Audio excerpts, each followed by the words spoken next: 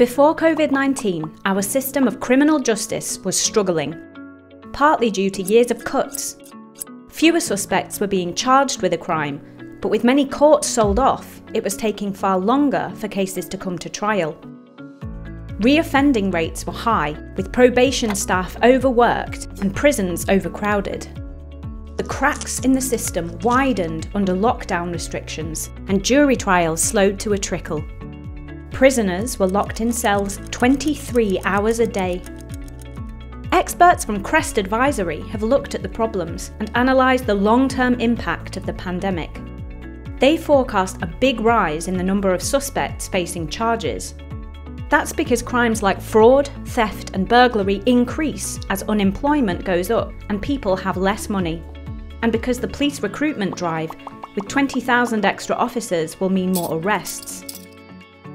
By 2024, the analysis suggests the caseload will be unmanageable.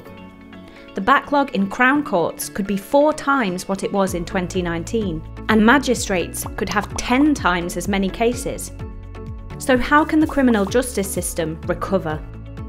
First, reduce the flow so fewer people enter the process by investing in prevention to stop crimes happening and diverting some suspects away from the courts towards rehabilitation schemes. Second, increase capacity by setting up more temporary courtrooms and extending court sitting hours. And finally, radical changes to make the system more effective through better use of technology, devolution, giving local areas greater control over criminal justice and ensuring they work together, and building policy around the needs of victims and the public. To find out more about Crest solutions to these problems, visit their website.